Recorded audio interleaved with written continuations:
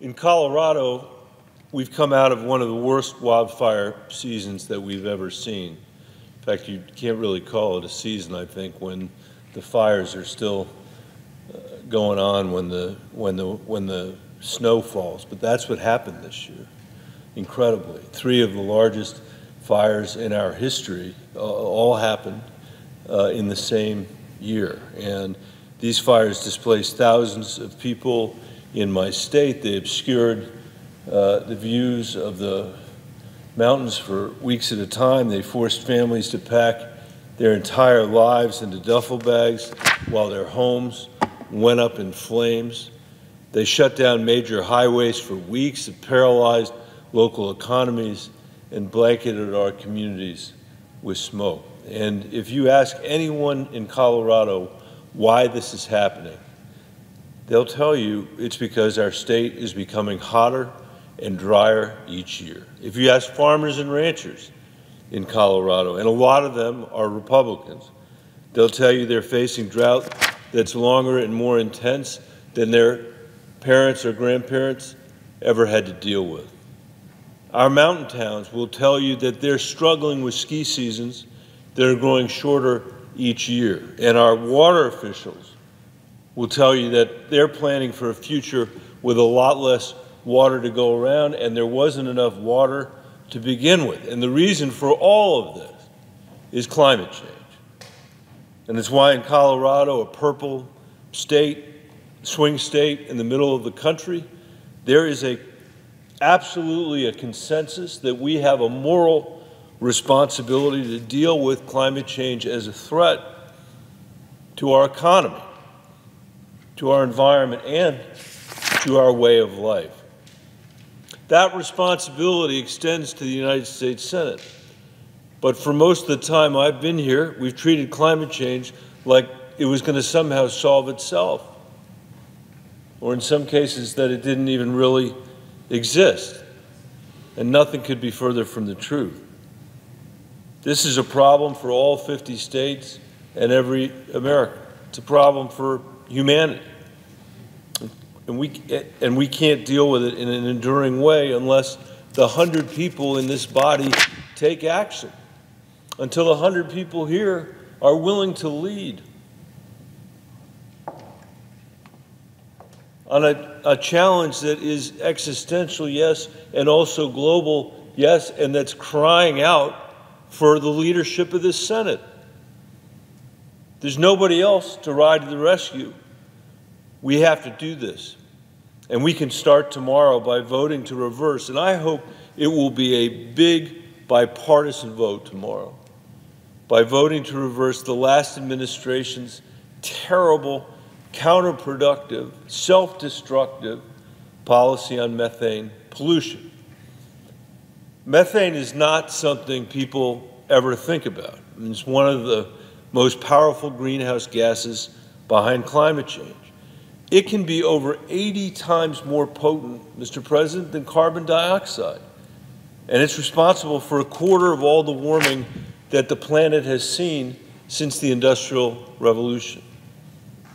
And today, one of the biggest sources of methane pollution is the oil and gas industry. In my state and in the, in, in the, in the great state of Texas, where the senior senator is from, and all across the country, where methane leaks into the atmosphere from old pipes, broken vents, and outdated practices like burning excess, excess gas.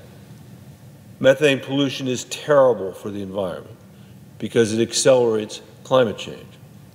It's terrible for our health because it puts toxins in the air we breathe, especially for the nearly 10 million Americans who live near oil and gas wells or go to school near oil and gas wells. But it's also terrible for industry because it makes their fuel much dirtier and it cuts into their bottom line. And that's why years ago, I think it was 2014 in Colorado, under the leadership of then Governor Hickenlooper, now Senator Hickenlooper, we adopted as a state the country's first ever rules to limit methane pollution for oil and gas facilities. Governor Hickenlooper worked by bringing environmentalists and industry leaders together to craft a policy that reflected the consensus in my state around climate change and our economy. And our approach worked so well that the EPA and the Bureau of Land Management drew on it for methane rules at the federal level. When the last administration went after the rules at BLM, our late friend Senator John McCain led a bipartisan majority in this body to keep them in place. At the time, the Trump administration claimed that the federal methane rules destroyed energy production and killed jobs. That was never true, to be polite about it. In Colorado, our natural gas production has grown. Our oil production has nearly doubled. Our innovation and jobs have increased. Today, there are 52 different businesses in my state hiring people to repair pipes, to track pollution, and develop new technologies to reduce pollution. This has strengthened our economy. Colorado's approach works so well that we've gone back and strengthened, strengthened our methane rules another three times in 2017, in 2019, in 2020, each time with support from both environmental groups and industry.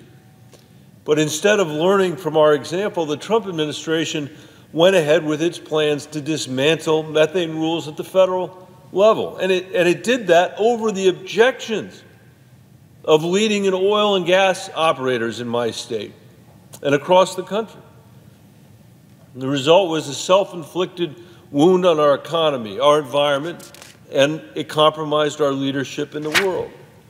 And now I hope we'll pick the pieces up in a bipartisan way. Because here's what I think, Mr. President.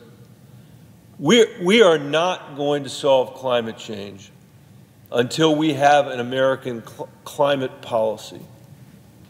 Just like we once had something we called U.S. foreign policy, where every president who was elected, whether they were a Republican or, or a Democrat, they roughly knew what their job was with respect to the Soviet Union, with respect to the transatlantic alliance. There were differences, of course, and, and we made lots of mistakes uh, with that organizing principle, but it was an important organizing principle, that thing we called American foreign policy. And we're going to need something called American climate policy. We didn't win the Cold War two years at a time. And we can't accept a politics in here where I put in my ideas for health care, and two years later they get ripped out, and put in somebody's ideas for infrastructure, and two years later they get ripped out. We can't tolerate it for those things, for education, for taxes. People need predictability. They, they don't want to succumb to the, the political antics of Washington, D.C. And, and, and this floor. But when it comes to climate change, that's really true. Because we can't fix it two years at a time. I often hear people say we have to act urgently on climate change. We do, it's true.